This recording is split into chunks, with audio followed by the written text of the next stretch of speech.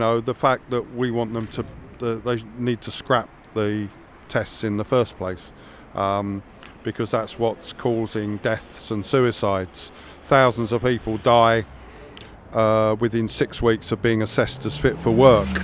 Um, so it's clear that they're not fit for purpose and they have to go. But they're, you know, I think, you know, when Ken Loach described on Newsnight the benefit sanctions regime and the work capability assessment as conscious cruelty, I think he was exactly right. It's a very conscious, deliberate act by the government to destroy disabled people's lives. No more sanctions! No more deaths! No more sanctions! No more deaths! No more sanctions! No